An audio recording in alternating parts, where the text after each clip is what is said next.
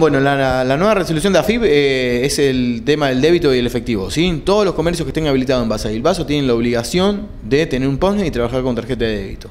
Digamos, desde una estación de servicio, desde una farmacia, desde un kiosco y un almacén. Digamos. Si una persona siente que va a cargar combustible o va a comprar la compra del mes y la persona le dice no, eh, no trabaja con un débito, esa persona automáticamente tiene que venir a la Oficina de Defensa del Consumidor y hacer su reclamo y nosotros ya ahí tomamos las cartas carta en el asunto digamos, la nueva, es una, nueva resolución de AFIP, digamos, es una ley, es obligación. Digamos, no, no hay un parámetro, sí, yo quiero trabajar con débito, no quiero trabajar con débito, digamos. Si Vaso está apuntando a ser una, ciudad turística, es un punto fundamental, fundamental el tema del débito. La gente de la ciudad, por un tema de seguridad y de comodidad, trabaja con débito. Nosotros todos los locales, todos los comercios habilitados de Basa Bilbaso tienen que tener un PONE y tienen que aceptar el débito. Yo la semana pasada estuve hablando con la, gente de IPF, que era, eh, digamos, la BD, digamos, ¿no? Porque son los que más cargan combustible y lo más, caro, ¿no? Hablé con, la, señora que se encarga de la parte contable y bueno, ellos accedieron a hablarlo con IPF de, con IPF, con los abogados, los contadores y vamos, calculo que la semana que viene nos vamos a reunir para ver si ya tenemos la, ya todo engranado para empezar a trabajar. Para empezar a trabajar con el débito en la estación de servicio. ¿Y cómo, cómo responden, digamos, los negocios de Basa Bilbaso a esta nueva, a esta nueva legislación? O sea, eh, ¿lo hacen, eh, trabajan o, se están resistiendo, digamos? no, mira, la verdad que la mayoría de comercios, la mayoría ya, digamos, que he hablado, están de acuerdo, digamos, aparte es una, es una, es de AFIP, digamos, no, no, no, hay, no hay opción de a elegir. Y después la gente, hay mucha gente que gracias al Facebook ha visto esta resolución y se ha acercado a, no a denunciar, a ejercer reclamos sobre, sobre esos locales y hemos hablado y, han aceptado. Eso por un lado, y después contanos, ¿cuáles son los horarios que manejan acá y más o menos de qué se trata Defensa al Consumidor? ¿Qué, ¿Quiénes pueden venir a reclamar? ¿Qué podés venir a reclamar? ¿Acerca de qué temas podés reclamar? Perfecto. Los horarios son de martes a viernes de 9 de la mañana a 12 del mediodía. ¿sí? Toda persona que sea de Basavilbaso, obviamente, eh, Mantero y todos los pueblos alrededor que no tengan oficina de, defensa del consumidor pueden venir a hacer reclamo. Cuando uno sienta que un derecho de un derecho del consumidor fue vulnerado, puede utilizarla. Compró un teléfono y la garantía no le cubre, quiere dar de baja un servicio. Te estoy comentando los casos más, más que se ven más, ¿no? Quieren dar de baja un servicio y no se permite. Eh, sobre obras sociales, sobre un medicamento que no les cubre sobre telefonía celular, telefonía móvil, todo reclamo que sienta que están fallando, un maltrato en un negocio, comprar mercadería vencida en un negocio, todo eso, eh, nosotros tomamos esos reclamos acá en la oficina.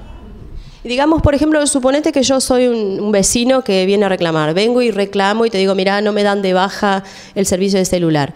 Desde ahí en más, ¿Qué, qué, hago yo como civil y qué hacen ustedes? Nosotros lo que hacemos como civil, vos te acercás a la oficina, digamos, nos, eh, tenemos una entrevista, me contás el caso, yo mientras que vos me vas contando el caso, yo lo redacto. Si es por una, vamos a tomar un ejemplo de Telecom, por ejemplo, ¿no? que hemos tenido muchos reclamos. Viene una persona, me dice que hace un mes que no tiene teléfono, ellos vienen, yo le tomo la, una declaración de todo lo pie a, a pie y letra lo que dijo se lo mandamos a la parte legal del Telecom y nosotros tenemos entre 7 y 10 días hábiles Telecom en resolverlo. Si Telecom en 7 y 10 días no resuelve ese caso, nosotros ya hacemos pedido, un pedido de audiencia. Citamos al abogado de Telecom, entre las dos partes, la persona que hace la denuncia, nosotros como, como entidad municipal y Telecom, y ahí se resuelve. Tratamos de no llegar a la instancia, obviamente, legal por una cuestión, digamos, burocrática también. Yo le aclaro a la gente, esto es totalmente gratuito, es municipal, digamos, es público. No son tiempos tan ágiles como, lo, como un abogado o como lo privado.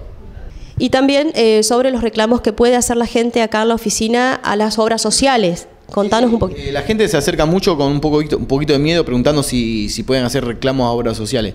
Eh, mira, en las últimas dos semanas tuvimos casos bastante, todos los casos son importantes, ¿no? Pero casos importantes sobre una, una persona que obviamente por una cuestión de respeto no, no decimos cómo se llama, nada, por una prótesis ocular eh, la cual es la, obra social, miró para el costado y no, no se la cubrió y gastó 8.800 pesos y por una ella vino a hacer un reclamo por, por un servicio telefónico y me comentó, bueno, y estamos eh, tratando el caso y sabemos que esa plata tiene que ser devuelta y va, vas está haciendo, está haciendo de vuelta de a poco a la persona. Que son 8.800 pesos, que no, es, es, mucha plata. Y sobre las obras sociales me preguntaba, las obras sociales también, hay muchos reclamos sobre las obras sociales sobre pacientes oncológicos. Hay una ley nacional que paciente oncológico, el 100% del tratamiento tiene que ser cubierto. ¿Sí? Hay varias personas que obras sociales cubrieron el 50, el 70, el 85. Así que cualquier persona que tenga problemas con una obra social desde reclamos por pago de medicamentos o demás, se acerca a la Oficina de Defensa del Consumidor y lo, lo puede hacer.